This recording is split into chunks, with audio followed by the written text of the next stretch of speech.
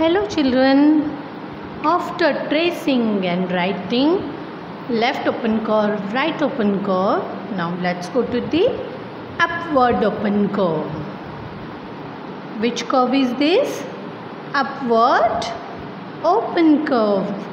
Start from the red color line and come down to second blue color line and take a little bit of curve and go up okay this is upward open curve.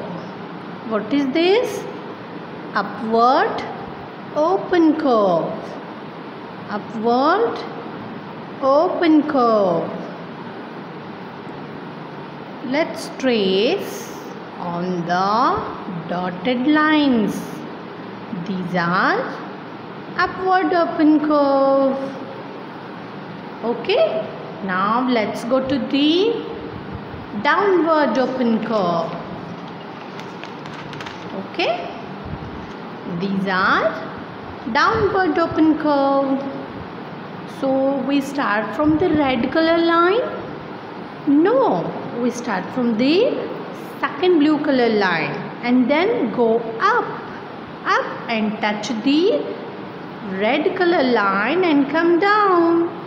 See okay this is downward open curve. What is this? Downward open curve. We start downward open curve from the second blue line.